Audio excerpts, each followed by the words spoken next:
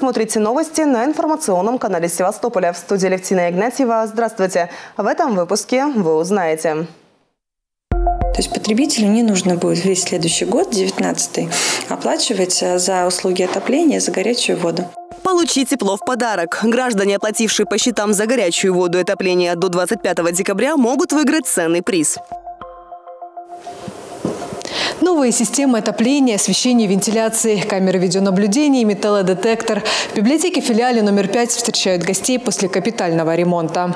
Что еще изменилось в здании и какие проекты станут доступны после открытия?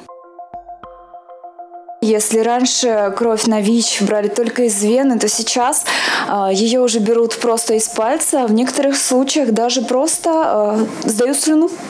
Быстро и анонимно. В преддверии Дня борьбы со СПИДом горожане могут пройти экспресс-тест.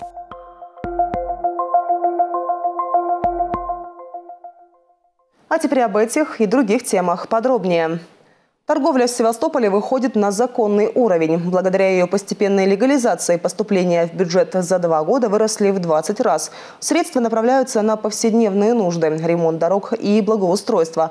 Однако работать в новых условиях в рамках законодательства готовы не все предприниматели. Часть из них стремится остаться в серой зоне, не используя для этого все доступные методы. Вплоть до провокаций, сообщил на пресс-конференции начальник Главного управления потребительского рынка и лицензирования Вадим Кирпичников. С подробностями Марина Кравцова. Порядок в работе НТО возможен. Еще два года назад в Севастополе было две с половиной тысячи различных киосков, ларьков и павильонов. Работали легально меньше сотни из них. Теперь же ситуация иная. В схеме размещения больше полутора тысяч нестационарных торговых объектов. Почти тысячу незаконных ларьков демонтировали за год. Итогом стал и значительный рост налоговых поступлений в бюджет города. С пяти с половиной миллионов рублей в 2016 до 102 с лишним миллионов в 2018 2017-м. Все предприниматели, кто захотел работать по закону, спокойно продолжают вести бизнес. На 2019 год, исходя из того, что мы все э, точки в схеме оформлены должным образом, они либо прошли аукционные процедуры, либо по шестому федеральному закону переподписаны были договора с украинских документов, паспортов привязки. Соответственно, срок действия договоров на 2019 год продляется на тех же условиях, на которых они, соответственно, были заключены финансово. Также в течение следующего года сформируют полные пакеты аукционов на период до 2025 года. Так предприниматели смогут оценить и инвестиционные перспективы и составить долгосрочный план работы. Такой подход и легализация НТО создают здоровую конкурентную среду и равные условия для предпринимателей. Однако к честной конкуренции и легальному бизнесу готовы не все. Так отдельные предприниматели свое недовольство требованиями закона высказывают в заинтересованных СМИ. Владелица кафе на Приморском бульваре заявила, что сумма в 119 тысяч рублей за аренду места напротив памятника затопленным кораблям для нее неподъемная. Новые цены на размещение НТО начали действовать с 1 апреля этого года. В постановлении были утверждены и соответствующие коэффициенты. Так, за летние площадки кафе владельцы должны платить только половину стоимости аренды. И многие предприниматели подавали заявление на дополнительное включение открытых площадок по этим ценам, отметил Вадим Кирбищенков. Но, заявляя с телеэкранов о высокой плате за площадку в знаковом, самом привлекательном для туристов месте города, хозяйка кафе умолчала о других обстоятельствах своей деятельности. Не выдерживает никакой критики такие заявления. Мало того, у данного предпринимателя долг составляет у нас на сегодняшний день 557 тысяч рублей. То есть э, есть такие люди, которые предпочитают просто не платить деньги в бюджет, а заниматься вот такими вещами, которые поддерживаются в том числе и а, некоторыми так называемыми общественниками в сфере а, защиты прав предпринимателей и депутатским корпусом, соответствующей частью депутатского корпуса. В этом же сюжете возник еще один недовольный предприниматель. Хозяин СТО на улице Хрусталева. Стоимость боксов повысили в 20 раз, утверждали журналисты частного СМИ. Однако, как и предыдущий герой, предприниматель скрыл от общественности другие факты. С 2017 года этот комплекс, который можно посмотреть, подъехать, он существует достаточно давно, был оформлен как 5 павильонов отдельно стоящих площадью 139 квадратных метров. Так, конечно, было выгоднее платить было удобнее, но ни на какие пять отдельно стоящих павильонов он, безусловно, не похож. Соответственно, при выезде и пересчете его комплекс превратился в 20 нестационарных объектов площадью 656 квадратных метров. Вадим Кирпичников отметил, в октябре правительство города приняло решение по таким станциям техобслуживания коэффициент был уменьшен с единицы до 0,5, а для данного предпринимателя и площадь, за которую взимают плату, уменьшили до 457 квадратных метров. Таким образом, власти города идут навстречу предпринимателям, но, видимо, есть подстрекатели, которые раздувают недовольство. Стоит отметить, что ранее ни отдельные общественники, ни депутаты, они участвовали в оценке регулирующего воздействия возражений не высказывали. Почти через год, видимо, передумали. Постановление о э, утверждении схемы НТО проходило оценку регулирующего воздействия трижды с ноября 2017 по март 2018 года где мы учитывали в том числе мнение и общественников, и депутатов. Вся эта переписка имеется. Власти города ждут от предпринимателей предложений по развитию схемы размещения НТО на период с 2020 по 2025 годы. Отзывы все жители города могут оставить до 7 декабря. Марина Кравцова, Андрей Тымчук, информационный канал Севастополя. Три городских предприятия стали победителями регионального этапа всероссийского конкурса «Российская организация высокой социальной эффективности». В четверг на заседании правительства приняли распоряжение о награждении этих предприятий. В этом году конкурс впервые проходил в Севастополе. Его цель – привлечение общественного внимания к важности решения социальных вопросов на уровне организаций, выявление лучших соцпроектов и создание позитивного социального имиджа. Победители регионального этапа будут номинированы на участие в федеральном этапе конкурса, который пройдет в марте следующего года. Предлагается определить э, ну, победителями в номинации за трудоустройство инвалидов в организации это «Водоканал», э, в номинации за создание и развитие рабочих мест в организациях непроизводственной сферы «Севэлектротранс» имени Круподерова – и в номинации «Малая организация высокой социальной эффективности. Общество с ограниченной ответственностью. Автоланд плюс». Долгожданная помощь. Правительство Севастополя выполняет указы президента страны. Они касаются обеспечения жильем отдельных категорий граждан. В торжественной обстановке им вручили свидетельство о праве на предоставление единовременной денежной выплаты. Деньги городские власти выделяют на покупку или строительство жилого помещения. Со счастливыми людьми пообщался и Святослав Данилов. Поздравляю с победой. Спасибо. Этого момента старший мичман запаса Виктор Тышкевич ждал более 30 лет. В Севастополь приехал еще в 1984 году. 21 год служил в учебном отряде подводного плавания. Теперь же получил сертификат на сумму в более чем полтора миллиона рублей. Говорит, больше не придется жить у друга на даче, ведь скоро появится собственное жилье. Очень рад, что хоть что-то я уже наконец-то дождался. Может, даже еще не осознаю, еще не верю, что так уже произошло это, осознаем в течение ближайшего времени, надеюсь. Во многом даже шел на службу, мечтая аж тогда еще, мечтая о квартире. Пусть это будет странным или там не надуманным, поверьте, что одним из приоритетов было получение жилья, потому что я родился и вырос в Чернобыльской зоне, потом Чернобыль, ну, как бы реактор взорвался и в 1984 году переехал в Севастополь. Трое военнослужащих, которые отдали служению отчизне более 20 лет, получили свидетельство на предоставление единовременной денежной выплаты. Такое право есть не только у военнослужащих вооруженных сил, уволенных в запас, но и у сотрудников пограничных служб, СБУ, Федеральной службы охраны. Всего в адрес правительства Севастополя на получение такой помощи поступили 722 заявления. 235 уже приняты в работу. 65 э, семей получили одобрение на выплату единовременного Э, единовременной выплаты. Это суммы от полутора до трех с половиной миллионов рублей, которые позволят приобрести жилое помещение либо начать строительство дома. Э, срок действия сертификата один год. Э, существует э, при достаточных объективных условиях возможность продлевать это на два месяца. Праздник скоро будет еще у нескольких десятков людей. 65 семей, о которых упомянул Михаил Демиденко, получат свидетельство в течение двух ближайших недель. Учитывая, что в этом году впервые мы этим занимаемся, 30 миллионов федеральный бюджет выделил, и на следующий год эта программа продолжается. Я думаю, что 5-7 лет и вопрос по обеспечению военнослужащих, бывших военнослужащих Министерства обороны Украины, которые были уволены до 2014 года, она будет решена.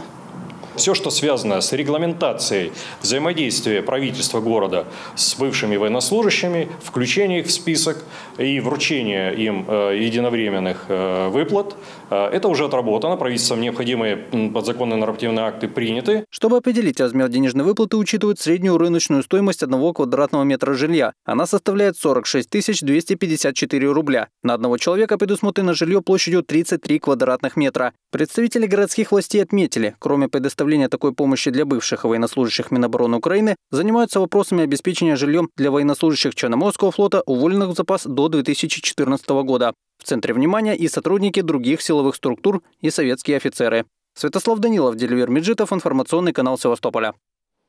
Субсидии на общую сумму почти 8 миллионов рублей получат севастопольские социально ориентированные некоммерческие организации. Такое постановление приняли в четверг на заседании правительства. Среди получателей субсидий, в частности, Севастопольское региональное отделение Общероссийского благотворительного фонда «Российский детский фонд», Севастопольская библиотечная ассоциация и Ремесленная палата Севастополя.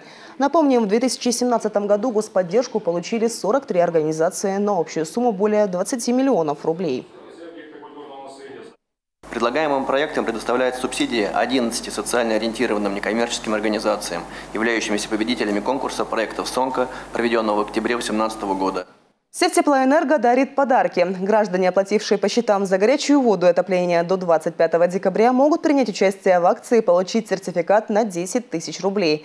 По подсчетам специалистов, это средняя годовая сумма платежей за услуги Севтеплоэнерго. Граждане, которые полностью погасят задолженность перед предприятием, а если ее нет, просто оплатят по счетам за ноябрь, смогут принять участие в акции «Теплый год в подарок». Случайным образом выберут 10 победителей. Они и получат сертификат. Таким образом, Севтеплоэнерго борются с должниками, а их в городе немало – 70 тысяч человек. Общая сумма задолженности перед предприятием – 200 миллионов рублей. С мая этого года ведется активная работа с неплательщиками. Сотрудники Севтеплоэнерго обзванивают граждан, составляют график платежей, а если должники отказываются платить, их дела отправляют в суд.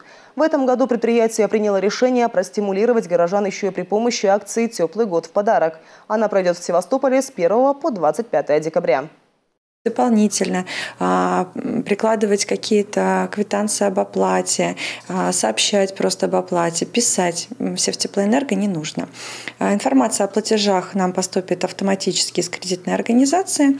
В соответствии с утвержденным алгоритмом будут отобраны 10 а, победителей, которым достанутся денежные сертификаты на оплату коммунальных услуг по отоплению и горячей воде а, в размере 10 тысяч рублей. То есть мы посчитали, приблизительное начисление за отопление и горячую воду в среднем составляют 10 тысяч рублей. То есть потребителю не нужно будет весь следующий год, 19 оплачивать за услуги отопления и за горячую воду. 1 декабря по всему миру проводится День борьбы со СПИДом. В преддверии даты по всей России проходит бесплатное обследование на ВИЧ. Севастопольцы могут проверить себя в мобильной амбулатории, которая расположилась на площади Нахимова. Результат можно узнать уже через 5 минут. Экспресс-тест прошла и наш корреспондент Александра Ковалева. Скажите, пожалуйста, а знаете ли вы, как можно себя защитить от заболевания, как не заразиться? Чума 20 века плавно перешла в век 21. И по сей день возбудитель СПИДа – один из самых загадочных вирусов на планете. Ученым пока не удалось доказать ни одну из теорий его возникновения. Только по официальным данным в Севастополе около трех с половиной тысяч ВИЧ-инфицированных людей. И это только выявленные случаи. Проверить себя можно в медицинской мобильной лаборатории. В случае положительного результата мы объясняем человеку, что ВИЧ-инфекция на данный момент – это не приговор, это не смертельное заболевание, это хроническое заболевание, с которым можно жить.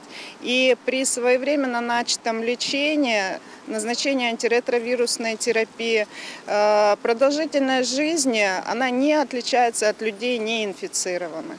Быстро и анонимно. У посетителей здесь не спрашивают документов и имен, а анализ на антитела к ВИЧ занимает всего 5 минут. Вот так прогресс не стоит на месте. Если раньше кровь на ВИЧ брали только из вены, то сейчас э, ее уже берут просто из пальца. В некоторых случаях даже просто э, сдают слюну. Результаты верны на 99,9%. В случае, если результат положительный, пациенту предлагают обратиться в Центр профилактики и борьбы со СПИДом. Если это будет две полосочки, это не окончательный результат, вам предложат обратиться в спеццентр, который находится на Коммунистической 40, где будет взята кровь и окончательно вам скажут, э, есть наличие антител к ВИЧ-инфекции, либо нет. По данным официальной статистики, за последние два года эпидемия СПИДа замедлилась, а количество наркозависимых людей среди зараженных ВИЧ снизилось. Александра Ковалева, Мария Буйлова, информационный канал Севастополя. Сделай свой выбор, выбери имя для аэропорта. Проголосовать можно на сайте проекта великиеимена.рф, либо позвонив по телефону горячей линии 8 800 707 93 17. Также можно заполнить анкету прямо на борту самолета. Жители Крыма и Севастополя активно участвуют в конкурсе. Лидерами голосования для аэропорта Симферополь стали флотоводец Павел Нахимов, императрица Екатерина II и художник Иван Айвазовский. Ранее губернатор Севастополя Дмитрий Овсянников, выбирая имя для аэропорта Симферополь, уже проголосовал за Павла Нахимова и призвал севастопольцев также поддержать прославленного адмирала.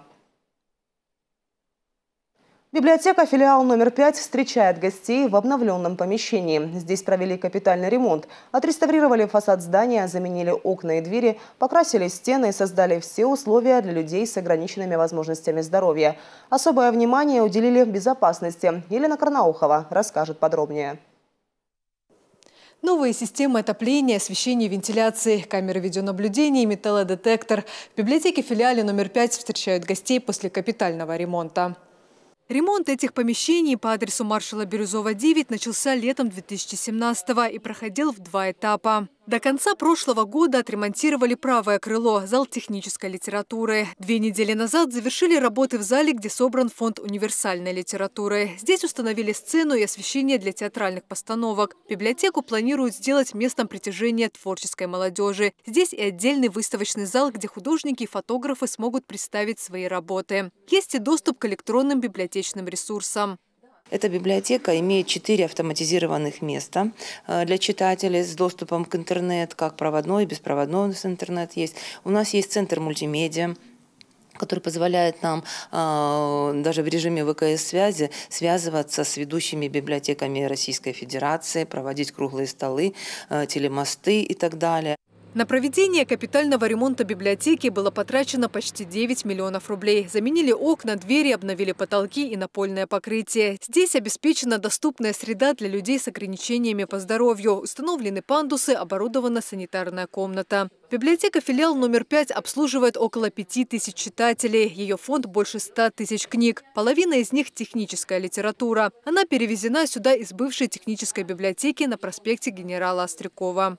И если вы помните, 11, 12, 13 годы, когда на проспекте Острякова э, шел такой, шла такая борьба за помещение, которое принадлежало частному лицу, и перед нами стояла задача сохранить этот фонд. Помещение ушло, потому что оно не нам принадлежало и не городу. Но фонд мы сохранили, сберегли, и сейчас уникальный ресурс такой информационный находится в этом помещении. С января 2018-го этот филиал стал Центром гуманитарно-технической информации. В этом помещении филиал номер 5 располагается с 1971 года. И с того времени здесь ни разу не проводили капитальный ремонт. Теперь эта библиотека стала образцовой. К ее стандартам сейчас приводят еще четыре филиала централизованной библиотечной системы для взрослых. Недавно завершили ремонт и в детской библиотеке филиале номер 13. Главная задача у нас э, по детской библиотечной системе – это, конечно, устранить э, те замечания, которые нам были сделаны э, в апреле месяце по пожаробезопасности в центральном офисе Центральной библиотеки имени Гайдара. И, как говорится, чтобы она полноценно заработала. То есть сейчас направляются дополнительные средства Главным управлением культуры на решение этой проблемы. Когда планируют открыть вот Гайдара? Значит, мы планируем э, февраль-март. В Севастополе ремонтируют не только библиотеки, но и дома культуры в сельской местности. В следующем году планируют отреставрировать помещения в Штурмовом, первом отделении Золотой Балки, Андреевке. В течение полугода в планах завершить ремонт в Доме культуры в Инкермане. Елена Корнухова и Анатолий Кукса. Информационный канал Севастополя. Символ Крымского моста «Кот Мостик» отмечает день рождения. Строители поздравили его и вручили медаль «Главный начальник». Запись об этом разместили в социальных сетях от имени кота. Мостику также подарили торт из креветок. Напомним, бело-рыжий котенок появился на косе Тузла в начале подготовительных работ в апреле 2015 года. Мостик стал талисманом стройки века. В социальных сетях у него тысячи подписчиков. Изображения кота украшают сувениры и новую почтовую марку. И в завершении выпуска о погоде. 30 ноября в Севастополе облачно, ночью без осадков, днем дождь. Ветер северо-восточный 10-15 метров в секунду. Температура воздуха ночью от минус 1 до минус 3 градусов. Днем 1-3 со знаком плюс. Это были все новости к этому часу. Еще больше интересной информации смотрите на нашем сайте xtv.ru. Телефон редакции 54 51 12. В студии работала Алевтина Игнатьева. Я желаю вам всего доброго. До встречи в эфире. Thank you.